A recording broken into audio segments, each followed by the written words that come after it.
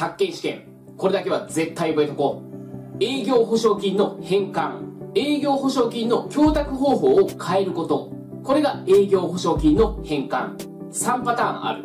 パターン1、金銭から有価証券に返還。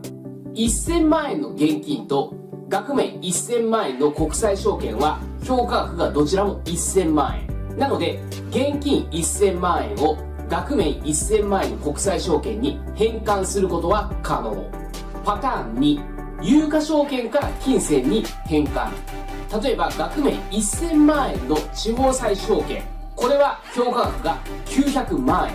なので額面1000万円の地方債証券を現金900万円に返還することは可能。パターン3、有価証券から他の有価証券に返還。地方債証券と政府保証債証券は評価額が額面の90%で同じ。なので、額面1000万円の地方債証券を額面1000万円の政府保証債証券に変えることは可能です。